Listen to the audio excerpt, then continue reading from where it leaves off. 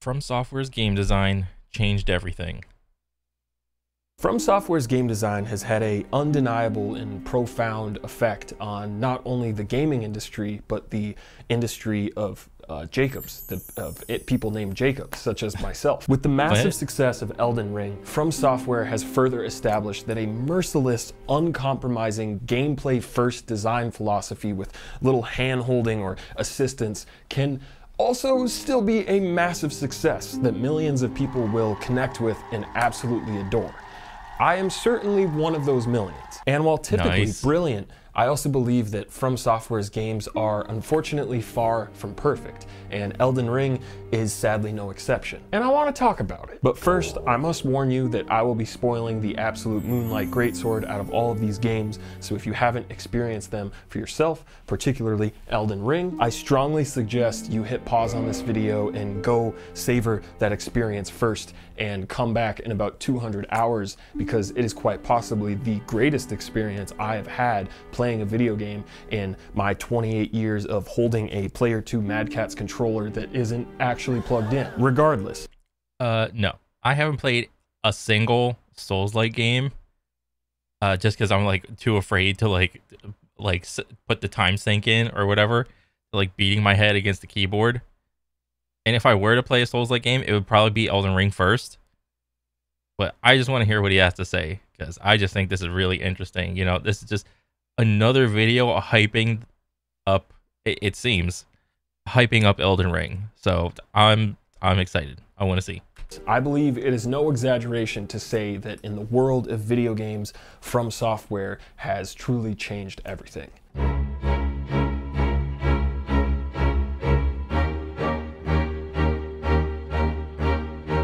Demon Souls was released in 2009 for the PlayStation 3 and was nothing like other big games coming out at the time, especially in 2009. In a year where games were becoming more and more cinematic and accessible and forgiving to a casual audience, Demon Souls That was me. I was a casual audience, and I loved every moment of it. Souls crawled out of a wet crypt and said, I will kill you. Demon Souls, like all the Souls games that came after it, is a very challenging and unforgiving video game. A difficulty that fans of the series often lovingly refer to as hard but fair. Oh my god. Hmm. That's so So fair. let's, let's maybe settle on hard but mostly fair. After So fair.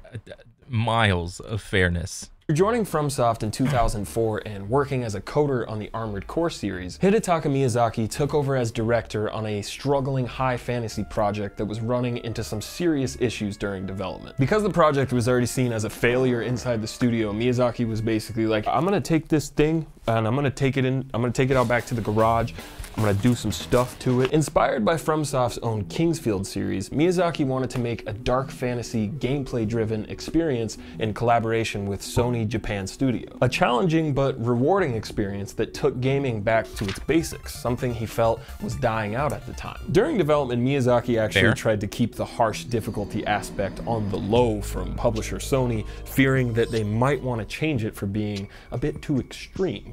Okay, so I 100% understand why he would try to keep the difficulty um like on the down low because he easily probably could have implemented like difficulty settings, you know, like easy, normal, hard or whatever. But from my understanding, all the Souls-like games, there is no difficulty slider. It's just the game. Uh, which is something you know, you could say something for that uh on its own, but I honestly I think that's a really good idea. Um so for me, uh at least in like since I've discovered like aim training, um there wasn't really a like a game it, only in the last couple years there wasn't really like a, a game or whatever that uh I was super excited to like play or whatever or like there wasn't like a like a ranking system for like shooters. Oh, well there was or whatever but like for the most part i was like a casual um and then ever since i discovered like aim training it's only you versus yourself which is like in my opinion like the greatest competition that you can have um you know trying to overcome your best score uh essentially is what that is and and i think in rpgs um there wasn't really that same level of competition, I think. Um, or difficulty against like like oneself or whatever. Um, so you know, in like aim training, you know, you have like your your bronze, silver, gold. What is it? Uh, platinum, diamond, jade, master, grandmaster, and so on and so forth. Um, with like difficulties and like scores and whatnot.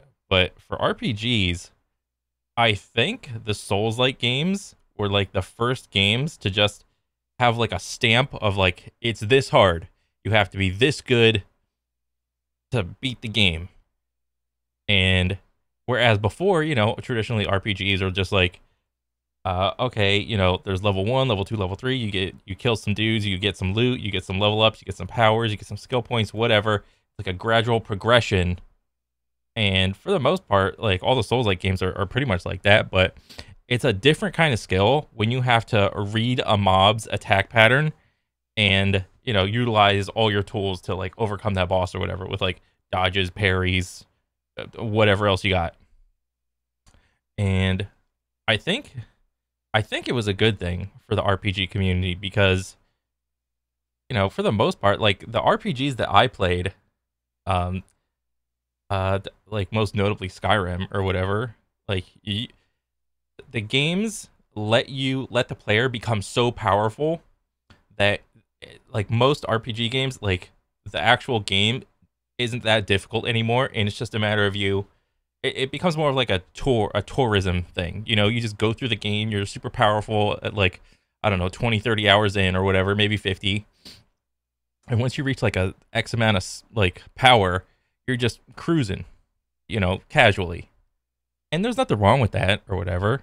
But for the Souls games, uh, they wanted to have like a more, it seems, a more linear experience as opposed to something that's like exponential or whatever in difficulty much like a BMX riding video game that sucked. Breaking down the basic gameplay of Demon Souls will effectively break down the basic gameplay for all of the Souls games that followed because the very core design pillars have gone largely unchanged. It starts with a character creator that before you say anything, I know it, it gets better with time, that lets Bruh. you pick a starting class dictating your capabilities with different weapons or magic. A third person lock on camera system for combat that mm -hmm. improves on the Z targeting system that Ocarina Ocarina of Time introduced back in uh, 0, of 9.8 that you can control the camera and attack people at the same time, which was kind of a breakthrough in and of itself. Animation-based combat that requires you to commit to each action and wait until the animation finishes before you yeah. can do something else, along with managing how that action affects your stamina bar or,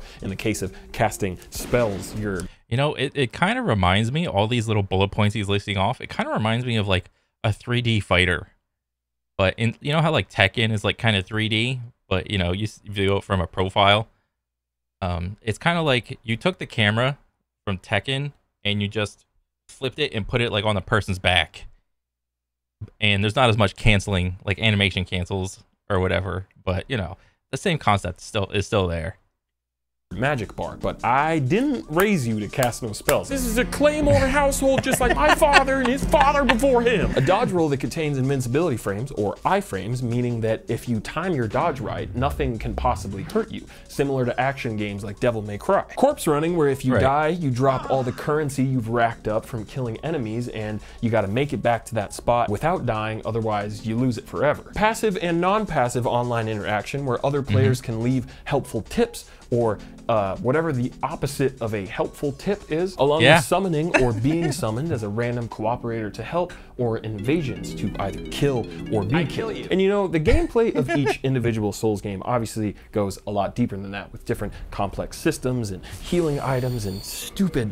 convoluted bullshit like world tendency that you need a fucking master's degree to understand. What? But the challenging and methodical combat system, that has always been the beating heart of all of these games. Right. A heart that's married to another heart Oh. exploration. Oh. You know how in my Rockstars game design video, I really harp on how those games constantly ball, berate dude. you with hyper-specific instructions and yellow map markers and assume you have the IQ of a tiny baby rat? Yeah, the Souls games do like the exact polar opposite. The tiny baby rat is now actually a boss and you have no idea what the fuck is going on? And what makes exploration so Bro, compelling in. Demon Souls and really all Souls games is that it is true exploration that really makes you feel like Batman. No, it really makes you feel like an explorer. There is no detailed map that you can rely on and consult, only your own sense of direction and understanding of a space. This, along with a strong challenge and an actual fear of having something to lose with the corpse running system, makes discoveries and victories feel that much more meaningful and rewarding. Because you really feel like you, the player,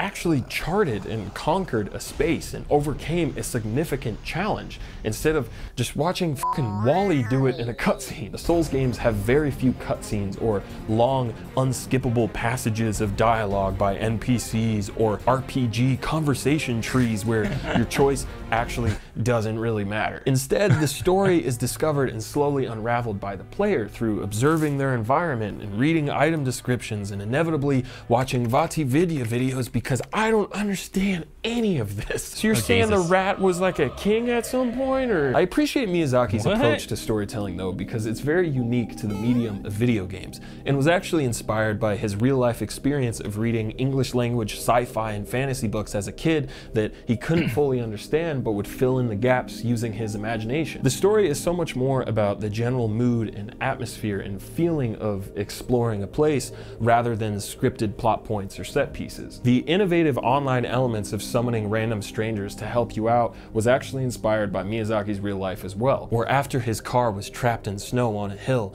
a random group of strangers showed up and helped push the car out of the snow and then mysteriously drifted off into the night like ghosts drifting in and out of his world at a poorly framed pace 30 frames per second. These games also have some technical issues. Demon Souls was not an immediate success. Sony decided to Oh, not man. publish it in North America Really? after feeling pretty negatively about it before its release. During the no Tokyo idea. Game Show in 2008, Sony president Shuhei Yoshida played it for two hours. Couldn't get past the starting area and then stopped playing and said, This is an unbelievably bad video game. That's a skill issue if I ever seen one. Hmm. This is the same guy that years later would platinum Bloodborne, and that game is like way harder. So, spoiler alert: From Software changed everything. The titular line. It wasn't until later in 2009 when Atlus would publish the game in North America that sales would slowly start to pick up and critics Cool. would start to take notice. Western audiences generally loved it because apparently we're all sick, masochistic bastards, and GameSpot even gave it their Game of the Year, the same year dang. that Uncharted 2 and Modern Warfare 2 came out. But It seems I don't know why it, it did like so bad over there when in the like the Western world or at least in the US it did like so great. Which is uh, like what year did he say? Like 07, 08 or 90? No. PlayStation 3. God. Oh, whatever.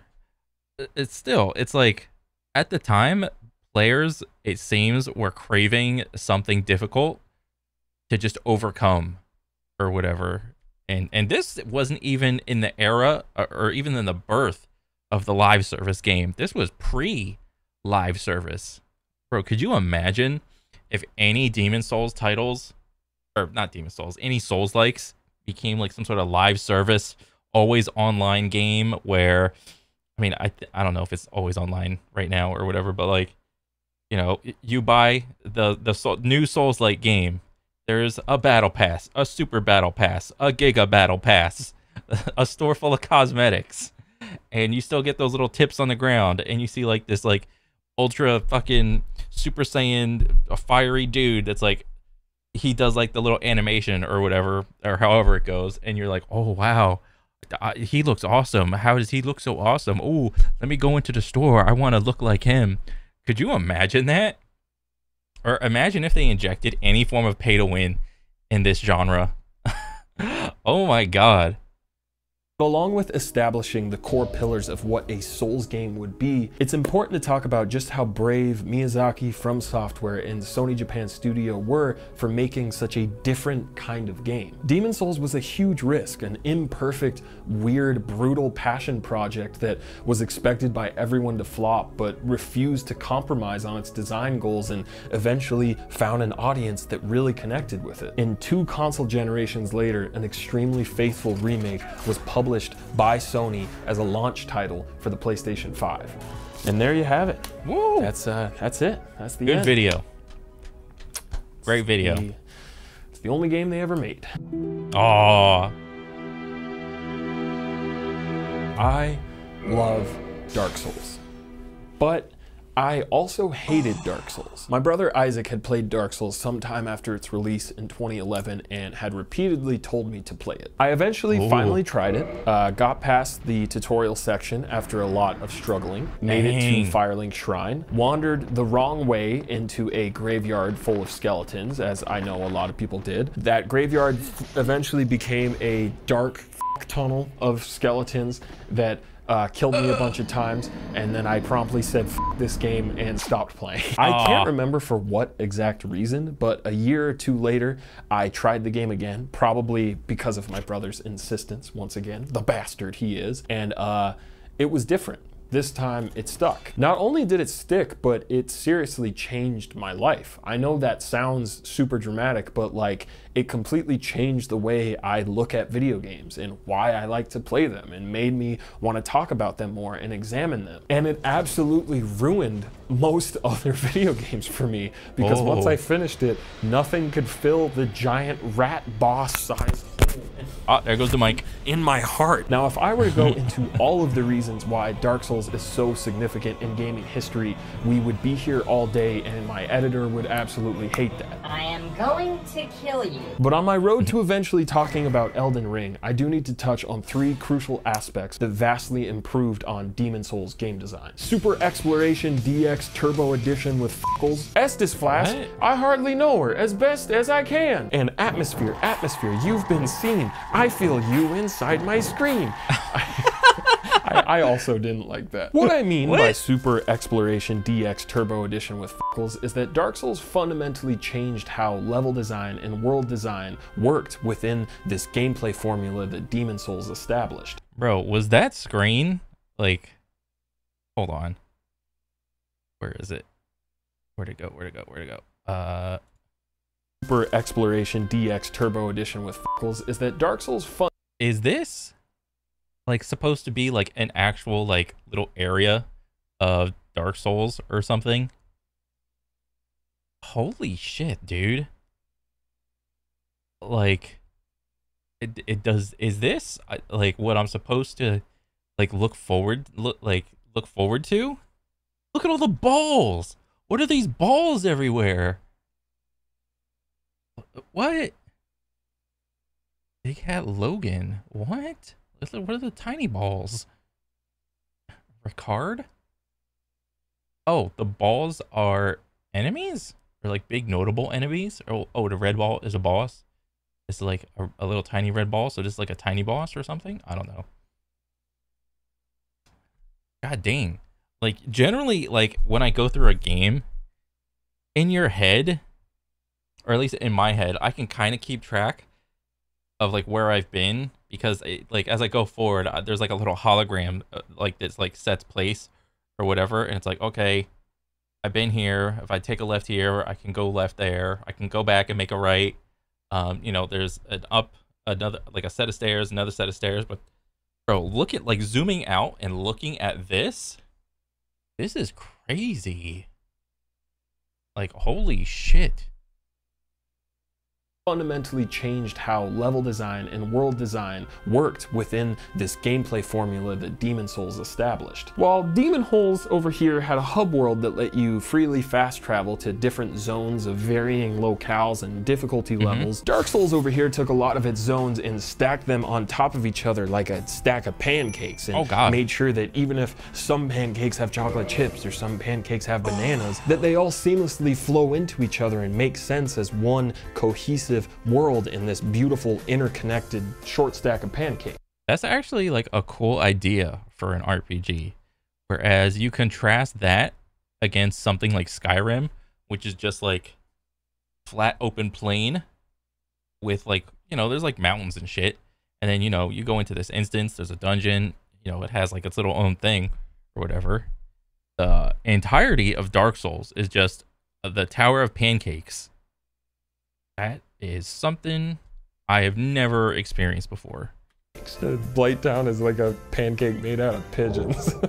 During the first half of the game, you have no fast travel, and all of the areas are connected in multiple complex ways like a maze. So there's this palpable sense of danger and tension that slowly rises as you venture deeper and deeper into this beautiful, mysterious world that is very clearly inspired by Berserk, which is amazing. That Uh, yes, that's that's a dub. Attention is brilliantly paired with the new addition of bonfires. Resting points that let you catch your breath for a second and spend your hard earned currency from fighting enemies and bosses on leveling up your stat points and refilling your much needed Estus flask. I am of the pretty firm opinion that the healing mechanics found in Demon Souls and Bloodborne and kind of Dark Souls 2 are vastly inferior to the standard Estus flask system found in the other Souls games. The Estus Is there like like two factions of audience like like enjoyers that are like I enjoy these older games because it was harder to heal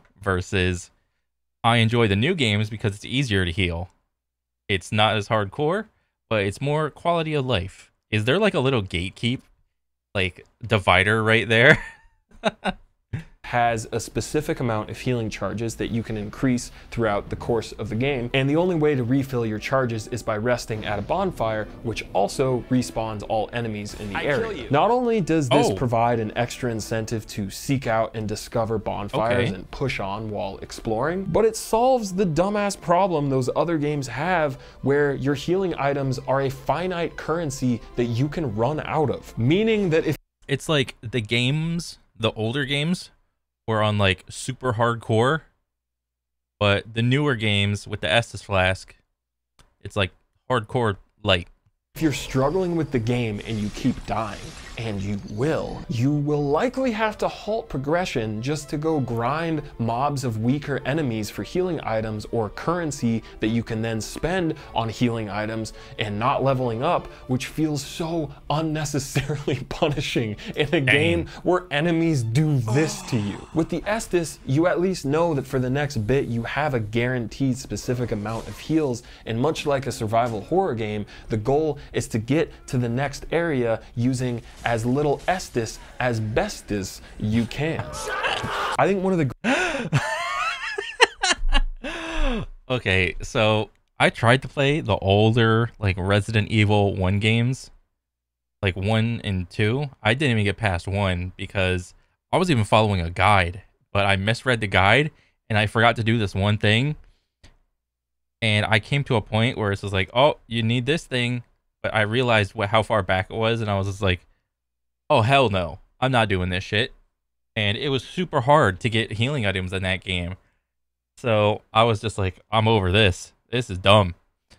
So yeah, I could completely understand why the older Dark Souls games or Souls likes were extremely hard. Greatest single improvements over demon holes over here is the atmosphere. I will never forget how it felt to get lost in this world. Struggling my ass off through Undead Burg and Undead Parish and finally being rewarded by finding that shortcut back to Firelink Shrine and hearing that comforting music creep in. That that seriously changed the trajectory of my firstborn son's life. He's he's getting into brown now. Journeying all the way down to first the depths and then Blight Town, and then finding the entrance that's a secret to the Great Hollow, and making my way down that, and finally ending up at Ash Lake gave me a feeling that I will forever cherish. The inability to easily fast travel back up to Firelink Shrine after I journeyed all the way down there simultaneously had me terrified and also in complete awe of the vertical scope of this world. And there's Nice. so much of this game that you can just completely miss. From Software doesn't care if every player sees all of the content that they made for this game, and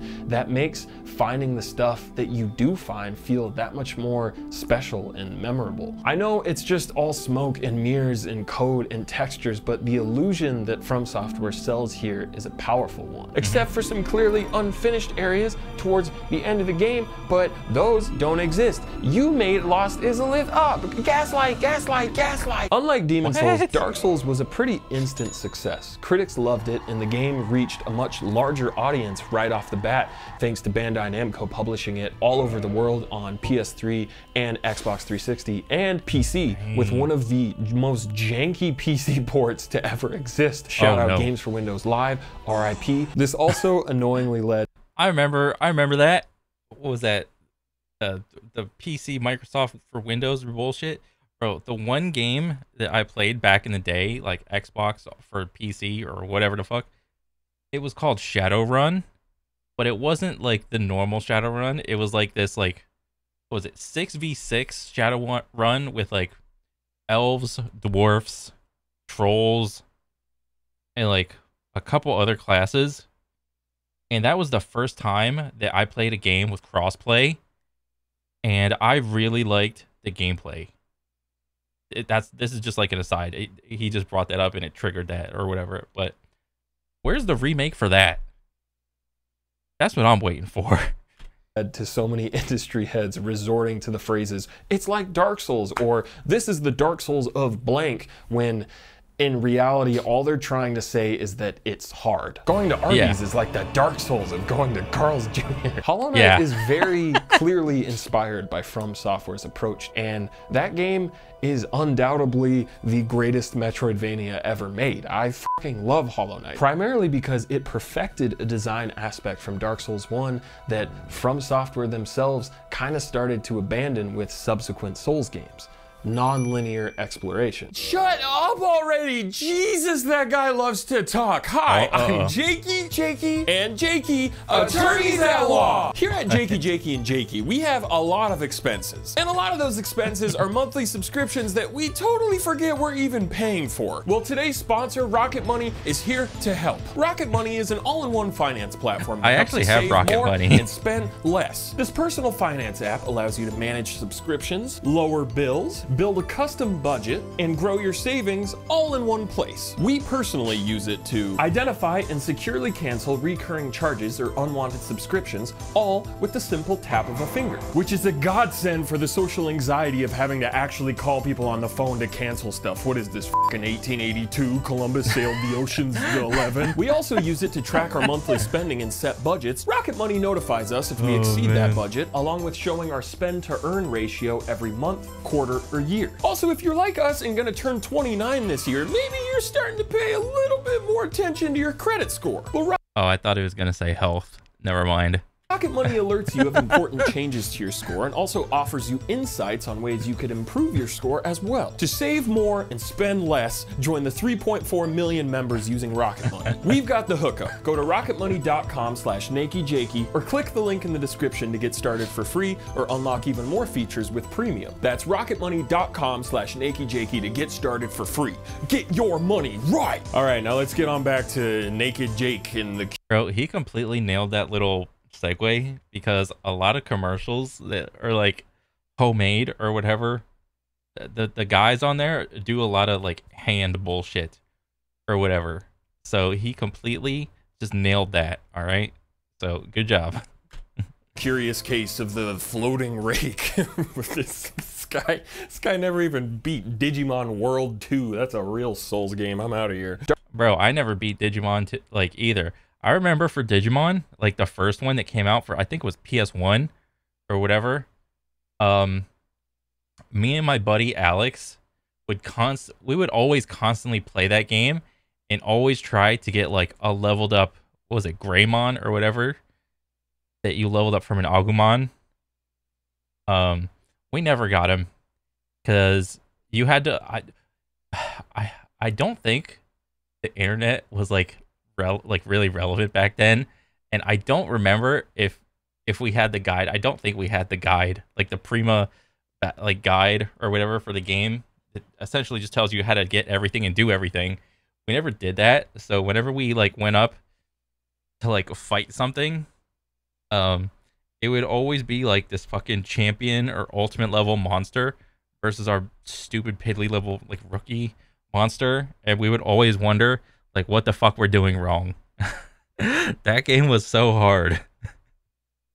Dark Souls 2, Bloodborne, and Dark Souls 3 all have much more straightforward progression paths than the first half of Dark Souls 1. And while a lot of areas in these games are technically connected and sometimes offer alternate paths, the general world design is far less interesting from a exploration point of view. And it doesn't mean that these oh. games are bad. All of these games probably each deserve their own 40 minute feature presentation breaking them down, but for the sake of what I want to get into today, I'm just going to give you the Spark Notes version. Dark The E-Ring. Dark Souls 2 dropped in 2014 and was received well and sold well. It further grew the Souls game community and deepened combat systems while adding stuff like power stancing. Miyazaki didn't direct this one and it does show. The atmosphere of each zone feels a bit random and unconnected from the overall world, but the boss fights and DLCs are great and the game enjoyed a large online community for shit like PvP. Bloodborne was developed alongside Dark Souls 2 and was released exclusively Oh. for the PS4 in 2015, and I used money from a car accident to buy a PS4 and Hell yeah, dude. That's how you do it. Bloodborne instead of paying my rent. And contrary to what my financial advisors might be saying, and, and Logan Roy looking ass, I'd say it was a wise investment. Directed Hell by yeah, Miyazaki, dude. Bloodborne felt like the true follow-up to. Dark Souls 1. At least for people like me that just want to swing a big sword and fucking parry everything. Bye bye magic. Go back to fucking Waverly Place. Faster combat that rewards aggressive play. Intricate and varied weapon movesets. An atmosphere that just drips out of your TV with such dedicated attention to detail and talent in the art design department and rats. Dark Souls 3 dropped in 2016 and by this point the Souls series was popping and beloved by many people. Directed once again by Miyazaki, DS3 did everything right on paper. It kept some of the faster paced combat and fucked up enemy designs and boss transformations from Bloodborne while also returning an Bro. Okay, so I got a thing. When either like a Pixar movie or a DreamWorks like 3D movie makes their characters or like a Hotel Transylvania is kind of like this. Like all these digital movies have this have these like characters like models or whatever and anytime that there's like like models with like long lanky limbs like legs and arms and just move weird i always think they should be a part of like the souls like universe because a lot of the monsters in like the souls games have this like spider quality to them like long skinny limbs it just you know you don't know what they're gonna do. You know this guy he's all over here like like that or whatever.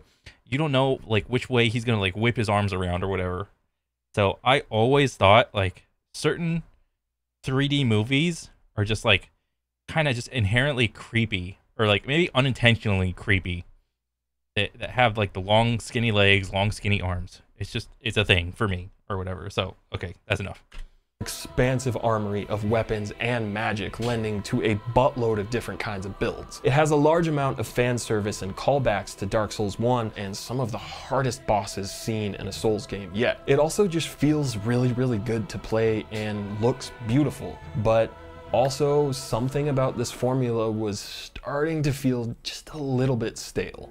formulaic is the word you're looking for too formulaic Don't get me wrong, playing through Dark Souls 3, especially doing co op boss fights with my brother, was some of the most fun I've had in any of these games. But that strong sense of exploration felt in Dark Souls 1, that feeling of charting your way through a mysterious and dangerous world, I longed for that. The Dark Souls series had completely shaken the game industry and clearly inspired other developers to change how their games were designed and Oh, played. yeah. But playing Dark Souls essentially just make that shit harder dude. Stop treating your players like little kindergartners you know? They can beat their heads against their against their screens throw their controllers go buy another one you know? They'll do whatever they have to to beat the game all right 3 felt a bit like listening to From Software's greatest hits versus hearing the band's new album that would maybe take them someplace new. Little did I know, From Software was in the studio working on their In Rainbows, as in the album In Rainbows by Radiohead, as in Radiohead's best album, as in Elden Ring. oh baby Some of you might be wondering. Jacob Matthew, Why did it take you so long to make a video on Elden Ring? And I have two answers for you. A, last year I was very busy working on an album called Romcom, shout out jakeymerch.com. And B, this game is just too damn big and felt too daunting to dissect and talk about, and I also just wanted to keep playing it, but I feel like I'm finally ready to get into it with my support group. Uh, that's you. This is you. This is all of you. Where do nice. I even begin? That's me. Elden Ring isn't perfect, but that's also what makes it so compelling. It's not properly balanced. I mean, none of these games are. They never have been. FromSoft has pretty clear favorites when it comes to certain weapons and buffs and spells. You can abs- The big sword. It's the big sword. That's that's the good weapon, the big sword absolutely break these games in half if you really want to. But the sheer depth of content that Elden yeah. Ring slowly unveils to you during your 200 or so hours of playing it, Dragon's the childhood there. fantasy of exploring a fantastical, magical world filled with swords and beasts and, you guessed it, rats, is fully manifested in a way that knows no contemporary. There is no other Elden Ring than Elden Ring. This isn't just the Dark Souls of Dark Souls. This is the Dark Souls of Breath of the Wild. This is the Dark Souls of Red Dead Redemption 2. If you took a time machine back to 2003 and showed my wooden sword in the backyard swinging ass that this is what was coming in the future, I would have shot you in the head and called the cops. Elden Ring is truly the adventure of a lifetime. But because I've already spent so much time Dang. talking about the core design pillars that all all of these games share. I want to instead focus on certain pillars that Elden Ring innovates on or potentially fails to innovate on. Exploration and scale, dungeons and dragons, starring Chris oh. Pine, and difficulty and accessibility. Where Dark Souls 1's world is like a short stack of pancakes, all connected, Elden Ring's world is like a giant stack of pancakes, and you took all those pancakes and you spread them out across a giant table. And most of the pancakes are touching each other, and some of the pancakes have other pancakes hiding underneath them, Ooh. and other pancakes might transport you to far pancakes in up ways, and some of the pancakes are on fire. What is this fucking pancake analogy? and make you feel fear. I don't want to be in this Denny's anymore. Let me out. Miyazaki has stated that Elden Ring is the closest thing to his ideal game that he would personally like to play, and that going open world enriches this ideal experience that he's trying to achieve. A game where if you saw something over there, you could actually go over there. A game that isn't open world just to be in the same category as some bloated Ubisoft bullshit, but a game that's open world because it needs to be. In order to fully capture the fantasy of being an adventurer in a giant world, riding across a vast landscape on your trusty steed, you first need to have that vast landscape to really nail that feeling. Elden Ring was yeah. inspired by Breath of the Wild, and it very clearly shows, because like Breath of the Wild, Elden Ring knows knows and expects that your curiosity will naturally lead you to finding interesting things. There doesn't need to be an overwhelming list of things to check off or obvious map markers going, over here, it's fucking over here. Because that would totally rob the player of a true sense of mystery and discovery when exploring this massive world. Elden Ring is very okay with hiding its hand. This is what the map looks like when you start the game, and this is what it looks like when you finish the game. That's awesome. And these are the pancakes that are cooking underneath you the entire time. Having a chest throw a smoke grenade at you in the starting area and being transported and waking up in one of the most giant late game areas and checking the map and seeing it zoom out like that was an experience I will never forget. And the lore behind the lands between is so rich in detail and intrigue. Miyazaki's style of storytelling through gameplay combined with the Bible of world history that George R. R. Martin developed for this game will leave mm-hmm. an MF feeling like goddamn Amy Adams, as in downright enchanted. I know I haven't mentioned Sekiro once in this video because it's technically not a Souls game, but it was a crucial stepping stone towards Elden Ring's development. The addition of a dedicated jump button may sound like a simple thing, but it completely changes combat and the way you navigate this world. Exploring the lands between over like 200 hours rivaled the experience I had exploring the first half of Dark Souls 1. They both hit really hard, but for different reasons. The first half of Dark Souls 1 hits hard because of a lack of a fast travel safety net, meaning you become very intimate with your surroundings and the world design nearly suffocates you with its complexity it suffocates in a good way.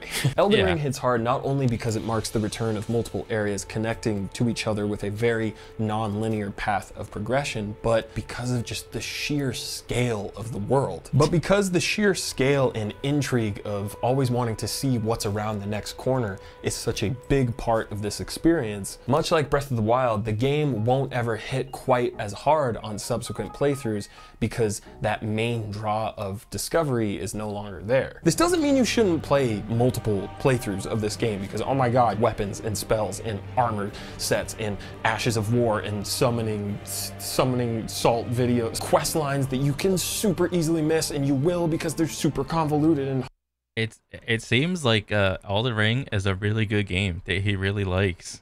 Hard to follow. You should definitely play the game a second time. But I will say that on my second playthrough, I definitely wasn't as eager to revisit all of the content once I knew what was exactly around every corner. Elden Ring has a massive amount of unique and amazing content to experience. But there's also some super not amazing content in there too. In Joseph Anderson's review, which is great by the way, he talks about how amazing his first fight with a dragon was. And I completely agree, that first encounter with a dragon in that big ass wet field or whatever, and he's like breaking all of the physics objects. It's amazing. It's such an awesome gameplay moment that is just naturally experienced in your exploring of the world. But I also agree with Joseph's point that because the game ends up having like a billion other dragons that you find, there's seriously so many dragons and they all mostly have the same moveset, it kind of takes away a bit of the oomph of that first experience. It I mean, that is a fair point, but it's like, come on, dude. How how much different can you get with like a dragon, like a move set or whatever? Even if you take something like, uh, like Monster Hunter and all the dragon types they got in Monster Hunter, it's still like, for the most part, you're fighting a fucking dragon. Um, or or I think an even worse offender to this is is Skyrim. You know, like the very first time you fight a dragon in Skyrim um, it's awesome or whatever. But then you keep going and going, and like by the end of the game, you fought like a couple hundred dragons, and it's like you already know the move set to each one. You know, don't get in front of them, don't get bit, because if you get bit, it, it's like an insta kill or whatever. So yeah, It doesn't mean that first experience is invalidated or made bad, but more so it's like if you ate pizza for dinner every night and eventually you were like, all right, I don't really want to eat dragon pizza anymore. Can, can we have like rat pizza, mom? The same goes for a lot of Elden Ring's catacomb dungeons. Similar to the Chalice dungeons in Bloodborne or the shrines in Breath of the Wild, the quality of experience you might have in one of these copy paste interiors is a bit of a dice roll. In all of the Souls games, you That's never know exactly what items you're going to find as rewards while exploring, but the areas and bosses are usually so interesting to look at and explore that the real reward is really just getting to experience that area and fight that cool boss. So even if the reward is something you're never going to use, like another fucking spell, you don't really regret doing it because it was a really fuck? cool experience. The same does not apply to Elden Ring. All of these catacombs are not created equally. Some will have a cool and unique boss and a really useful piece of loot, and others will have a boss you've already seen a bunch of times and an item that you will forget about the second you leave the catacomb. Funny enough, this is actually a problem that's remedied by a second playthrough, because if you have a wiki open, you can just avoid doing all the dungeons that aren't worth it. But on a first playthrough, the one Huh, that's the get it. best and the most memorable, you don't know what all of these have. So if you're like me, you're probably going to do all of them and get pretty burnt out on fighting the same little statue fuckers and these pieces of shit. For the oh, most part, Oh, Jesus. the enemy and boss variety on display in Elden Ring will blow your back out most of the time. But seeing unique experiences that you've cherished, like the reveal in bro, like how many unique enemies and like move sets are there?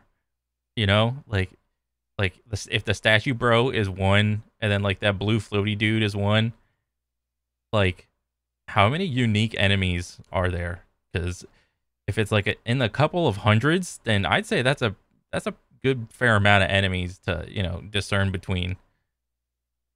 Spectacle of fighting Astel, natural born of the void, get copy pasted into a separate dungeon, or fighting a godskin fucker, or both of them for like the fifth time. It's a bit disappointing. The nice thing about Elden Ring, though, is that you technically don't have to do most of this. If a boss is too hard or if an area is too annoying for you, you have so many other options of things to do and bosses to fight and places to see. But this also potentially leads to some issues with the game's design. Previous Souls games that had a more linear progression path could quickly halt your progress with a super tough boss, and you would have to mm-hmm. either grind enemy mobs for souls to level up or just slam your head against a wall until you hopefully eventually break through. Elden Ring being mostly non-linear actually remedies that problem and finally adds a sort of difficulty slider to the Souls games. If a boss is giving you a swirly, just go do something else. Maybe find a better weapon, learn some new skills, or spend time practicing your parries against weaker bosses. I don't know, there's a lot of stuff you could do. Then once you're better prepared, head on back to that boss that was fing you up and say, it's opposite day, you slug. Huzzah! That's pretty amazing, right? This makes the Yeah. game so much more accessible and less intimidating to a new player that's never been beaten to death by a rat before. But Yeah. this system of sort of choosing your own difficulty could also potentially rob you of a compelling experience. This game is Yeah. so goddamn big that there's bound to be stuff in the early areas that you won't find until way later in the game. I mean, but to my knowledge, for Elden Ring, is there is there's not there isn't like an obvious uh like difficulty slider or whatever in the game, right? You just start the game, boot it up, and you just start playing or whatever. I'm pretty sure there's no uh like difficulty choosing. I know I think I understand that like like the basic understanding is that if you use a sum like summons on a boss, that's essentially like uh what was that? It, it, it's like putting the game on like easy mode or whatever like using summons. So yeah. And when you do find it, maybe it's a super awesome, unique boss battle with like a really cool reward that you beat in like two hits. In some cases, this feels amazing. It fully feeds into the power fantasy of wanting to make the biggest fucker alive and can be super satisfying to just totally fart on a boss that once had you breaking 2x4s from Menards over your leg. Yeah. But sometimes it can feel bro i will say it's the same feeling that remember in like world of warcraft uh what was it in tbc or no was it tbc no in outland or whatever. Uh there was that big like reaver green reaver thing that just walked around and like as you're leveling up um and you don't know like if you're playing like with the sound off and you're just listen to whatever music and by the time your screen starts shaking it- you're like the thing is already behind you and he just comes up and like smacks you or whatever and you're like oh fuck. Maybe i should play with the game sound on ah nah never mind. I'm not gonna.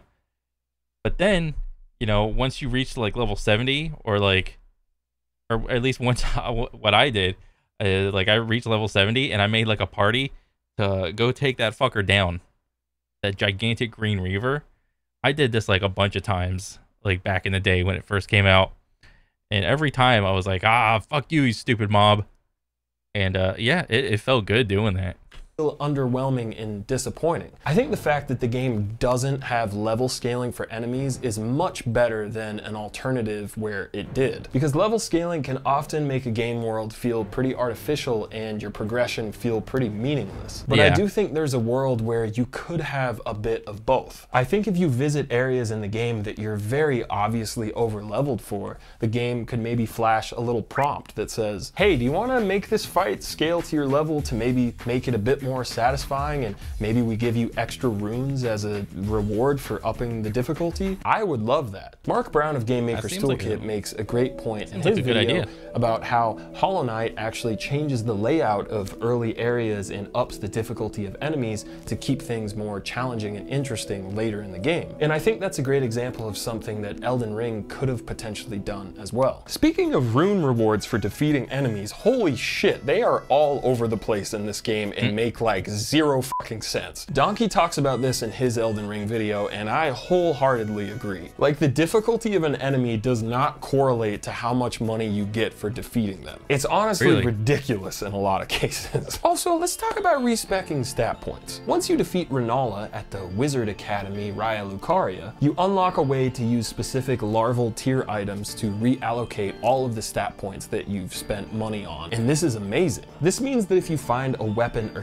spell that you really fuck with but don't have the stats for, you can retool your character to be able to use them and switch up your playstyle and experience one of the many amazing builds that you can do in this game. So why the fuck can't you do the same thing with weapons? Elden Ring offers no ah. way of transferring or respecking weapon upgrades from one weapon to another, and it makes zero fucking sense to me. okay so i i get this whole thing like you like the game so much that you want to add replay value to it by you know ditching the respec cost for yourself and then ditching the respec cost. I guess you can like spec your weapons out or whatever. I don't know. Never played the game. But i think that's it. What it does is it adds uh play time to the game and i think that's fine. Um yeah. And also there was a thing that he mentioned earlier I forgot to talk about where it was like trying to increase the difficulty to get like some extra rewards or whatever. Um I think that's also fine.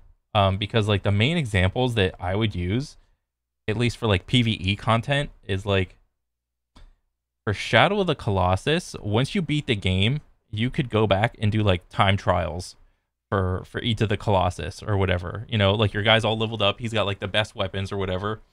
And then I think what was it? Each time trial, you could unlock like a new weapon or something, or like an upgraded version of it, or something like that. And I did that, and that felt really good, or whatever. But the sad thing is that um, there was no like in-game leaderboard type thing. You know, if you if you wanted to do that, you you you had to like go through like some websites or like post up YouTube videos or whatever. Or another game that does that really well, like adds replayability, is the Monster Hunter uh, genre. Um, so you know, once you play like for Monster Hunter World, for me was like the first Monster Hunter game I played through like from beginning to end, and it was awesome. Um, I stumbled upon the speedrun community and how cool it was. Um, but they had their own like gripes with the game or whatever. Like the game didn't support speedrunning really. Um, a lot of the the things that it sounds like Jakey is talking about for Elden Ring sounds like the like the issues he's bringing up here sound similar to the issues that were were happening in Monster Hunter World. Um, and I think like it's like if you beat the game once, you should unlock like speedrun mode or whatever. You know, in speedrun mode, you have like you have like infinite respecs, infinite like whatever. Um, you have like an in-game leaderboard, and you know, like what was it? There's like boss rush mode or something. Um, yeah, because in Monster Hunter there was like, was it like 16 weapons, and there was like a category for each weapon for each monster. So there was like a charge blade versus I don't know what was what was what's like the the dragons or whatever. Um, there was like you could do the dual blades versus the dragon, the uh the katana versus the dragon, the what was it the the the bow, the like in so on and so forth.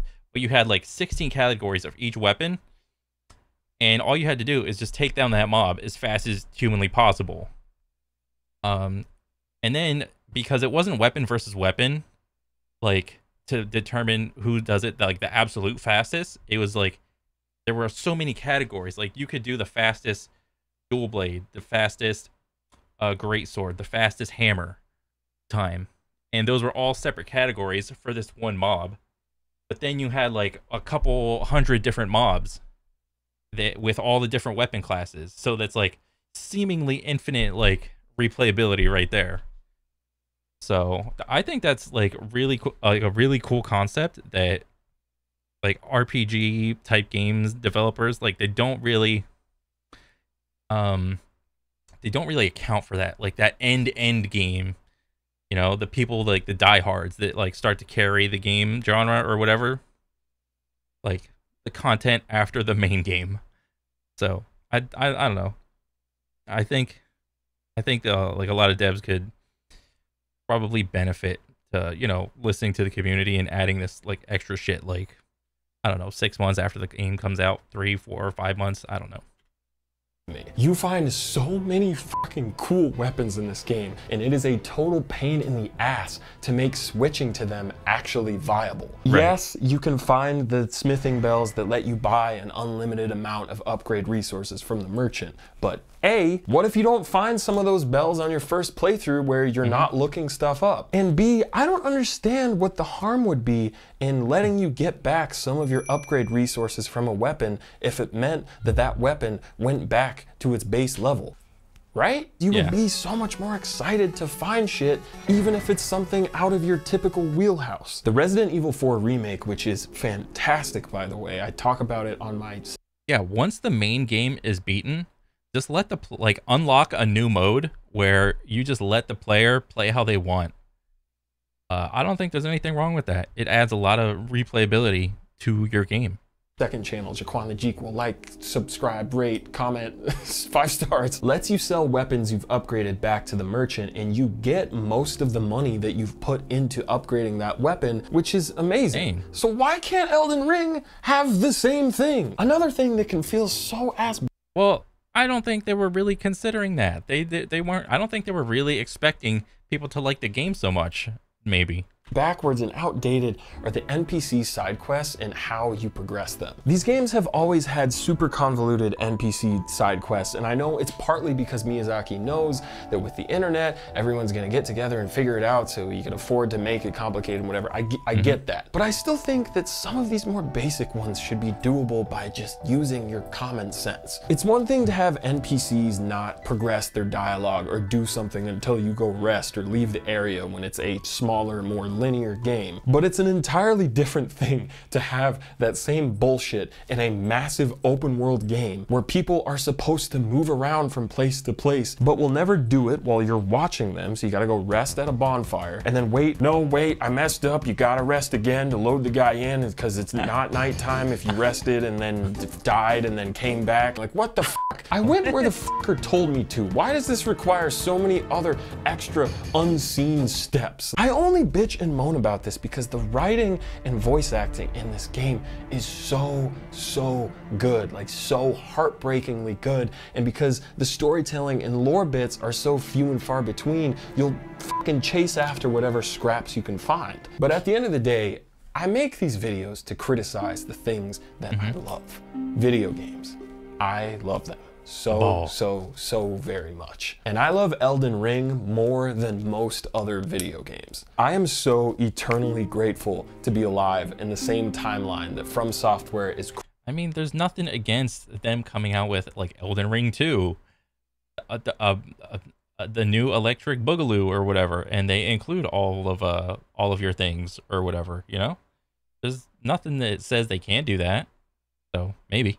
Cranking out games of this quality. Elden Ring is not only a continuation of the Dark Souls franchise, it is an evolution of From boss? Software's trailblazing game design. A design that I think defined the last 10 years of gaming, and with Elden Ring could very well define the next 10 years of gaming as well. A massive journey with some of the most beautiful vistas I've seen since Windows Vista, and some of the most challenging, grueling bosses that I have taken on and overcome since Windows Vista. Thank you to Hidetaka Miyazaki and From Software for taking a chance with Demon's Souls. Thank you for making some of my favorite games ever made.